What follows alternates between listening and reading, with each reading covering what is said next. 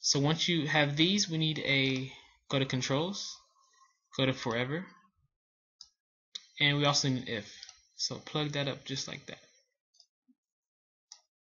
And once you have that, we're going to plug this all in, just like so.